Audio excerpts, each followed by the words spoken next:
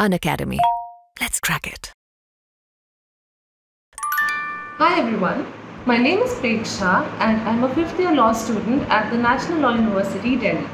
I have teamed up with Unacademy CLAT to talk about my AILET and CLAT preparation strategy, what I think are things that you could do to help get better ranks and therefore better colleges in the entrance exams. So um, for the starters, brief information uh, about me. Uh, I took AILET and CLAT in the year 2017. Back then the pattern was slightly different from what it is now, but I've come to realize that even though the patterns have changed slightly, uh, the, the syllabus and the preparation strategies more or less have stayed the same. So whatever I tell, um, I'll tell from my experiences, but also at the same time I'll try to incorporate them with, you know, the pandemic and how you can work through the COVID situation and if in case your AILET and CLAT both happen online compared to how we had an offline AILET and an online CLAT. So um, first of all, let's start with the basics. Let's start with English. So um, English is, I believe, the trickiest subject because even though they mark it only a certain percentage in the entire in the entire paper, um, even the law questions and the legal reasoning questions cannot be fully answered or even understood if you don't have a good knowledge of English. So English is fortunately or unfortunately the most fundamental aspect of either of these exams and more if you take MSCET or some other exams as well. So um, first and foremost English. So for English, um, I've come to realize that language is not something that you can learn overnight or like you know in a few days or something. So whenever you start preparing for your exams or whenever you see this video, um, I would recommend that you start preparing for English right away. The best way to prepare obviously is to read newspapers. So uh, you don't have to go with some newspaper that you don't understand like or you would find trouble understanding like the Hindu. You could stick with um, Times of India or Indian Express or whatever is available for you. Uh, yeah, that is the most important aspect. Just read one English newspaper that would not only help you with English but also with um, GK. So um, that's the most fundamental aspect. Um, in the in, in, the newspaper, you're not supposed to uh, just like basically read the entire newspaper. I would say read the editorial first, and then certain news pieces that you think might be relevant. These are the most important things.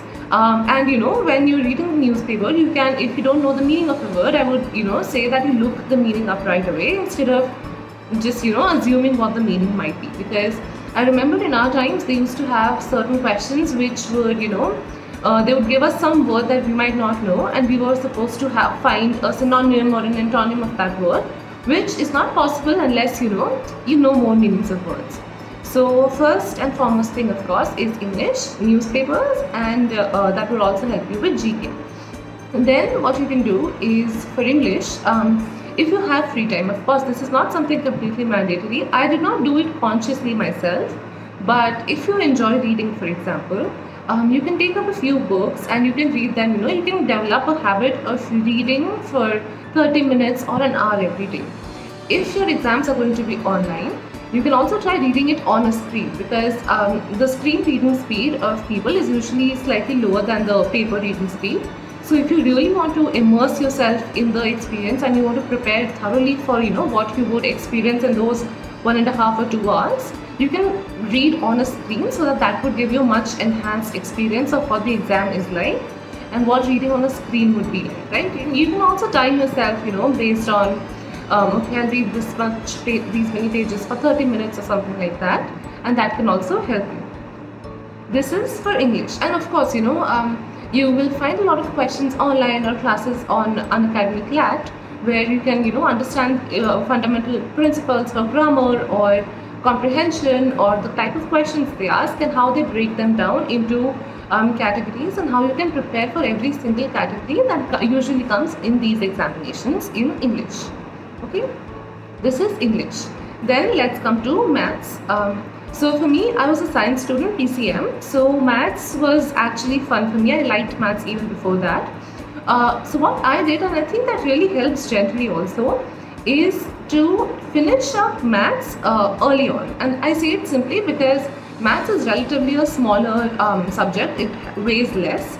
So, you know, if you're someone from maths background or if you like maths, you can just you know put in a, uh, a if you have a few months in fact if you have six eight months at least you can finish up maths. You can do it uh, two three hours every day initially in the first few weeks or months. And that will really help you you know gain confidence in the 20 marks that you have or 15 marks you have whatever how whatever the division is um, for maths. So you know every day you can pick up different activities under different um, types of questions that they ask and you solve all, those, all of those questions and what you can do eventually is that once you're done with the syllabus like the first study of the syllabus you can eventually move on to you know um, solving a few questions every day. That way you'll always be revising maths and those uh, the, the marks uh, for maths in the question papers would be secure for yourself. Um, then uh, similar is something that I recommend for logical reasoning as well. Uh, so logical reasoning is actually a very interesting thing because you never know the kind of questions they can ask. There are of course some type of questions that are standard and that they have used over the years, but uh, it's never fixed. So what you can do is there are like you know if you go through old pre uh, previous year papers and this is something I recommend for any exam that you take anytime you should always always always look at previous year papers because they really give you an insight into the type of questions they ask and how you can prepare for the exam.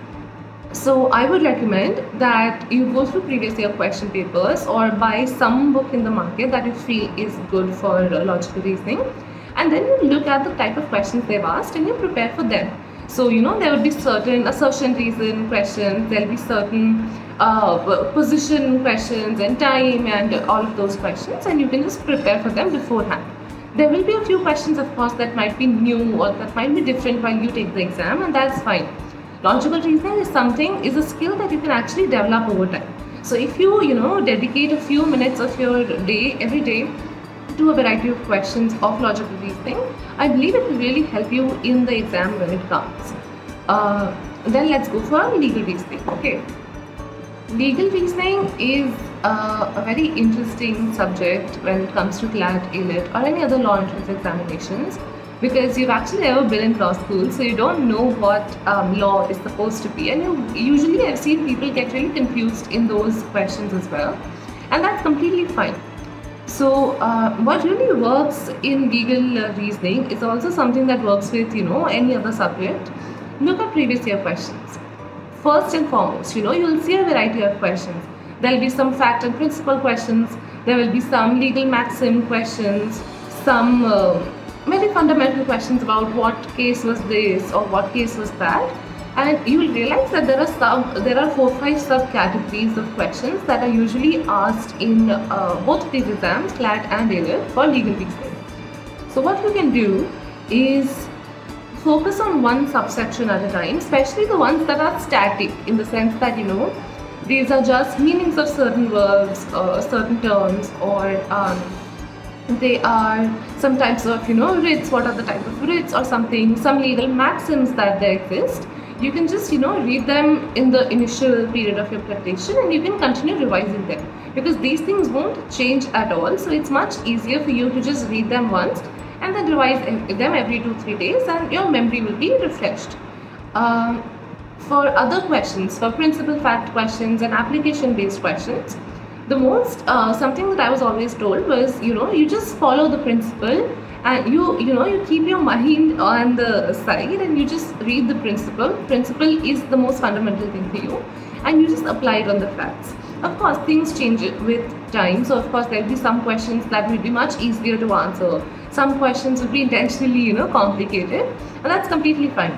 You just have to practice and you will get hang of you know how to you know, uh, would rely on the principle and principle alone.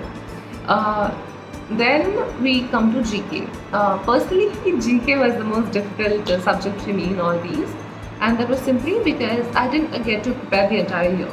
So, um, which is why I prepared all the other subjects first, and I did GK a little bit every day, but in the last few days before my exam, GK was the only thing I did. So for GK, like I mentioned before, um, the best thing to do is read the newspaper because everything you get, you get there. Um, something that I've realized is actually quite fun is to watch a few YouTube videos online. There are quite a lot of channels that either share day-to-day news or that um, explain certain topics of relevance and it's really interesting to actually just watch those videos understand those things and they can actually help you with your gk questions as well um, ultimately though gk is just a matter of you know do you were you able to you know know more about the things that happened in the last one year? And nobody knows everything so it's fine. Um, but something that i've realized is that if some incident most of the gk questions that they ask are not abstract out of the blue. A lot of them are related to news that happened in the last one year. They, they might not ask um, the exact news but if for example a new CJI was appointed right you can read up about the previous CJIs and something interesting that might have happened in their tenures or something because even if they don't ask about the latest CJI, CJI, there is a chance that they might ask related questions from a current piece of news. So, which is why GK is actually something that takes up a lot of time to prepare, and which is why it makes personally it made a lot of sense for me to touch base with all other subjects first, and then um, uh, completely and solely dedicate myself and all of my time and energy to GK. So um, that is something you can do as well. Um, ultimately, though, I think the most fundamental three principles of um, any exam preparation to be fair and for CLAT and AILET are first, um, just know the syllabus, look at the previous year papers and identify what kind of questions they ask and how, what you're supposed to study, right? Second is, of course, you know, you consistently work hard. Even if you're not working, I'm not asking you to spend 10 hours every day on your uh, on your studies, right? Just being consistent, giving every subject a certain amount of time every day, or you know, total amount of time per week, is a good strategy to go about it. And third is mocks. Um, no number of mocks is actually less or too many. So just you know, just how just find mocks online, or you can sign up for a few uh, mock tests or sectional tests for different coachings or with Unacademy. And uh, you can just you know every time you do some subject you can solve a few questions. You can solve a few online of course and you can also solve a few questions online on their um, on some website or some sort so that you can get your ranking on that you can get marked on that as well and you also get time. So um, Solving mocks, solving questions in general, practice is the most fundamental aspect of any preparation and especially of CLAT and AILET. So just give a lot of mocks, time yourself, mark yourself. And uh, always, you know, the thing, something that I've realized a lot of people don't do is that when you give a mock um, and you get certain questions wrong or you get certain guesses right, always go back to them and revise those questions because there are always a few questions that come up from the mocks that you give in the past and it's really disappointing to you know see a question and to know that you solved it or you didn't solve it but you have seen it before and to not know the answer for that. So just go back and you know every time you take a uh, take a test or any mock that you give re revisit it revise it. If not all sections at least you know maths logical reasoning and uh, legal reasoning gk all of them because they'll really give you an insight into where you went wrong and is it important and you just revise it and that really helps as well. So um, three things, look at previous year papers, know what you have to study. Second, just put in efforts, you know, even if you're not putting in a lot of efforts every day, half an hour per subject, one hour per subject, however much you can, you know, just give that much to every subject. And third, solve mocks. Make it a rule to solve a few mocks per month if not, you know, entire CLAT and AILET mocks, just maybe sectional mocks for whatever section that you've completed and that would really help. Um, yeah, that's me, Preksha Sharma from National Law University, Delhi. Thank you so much for listening to me. All the best. Bye-bye.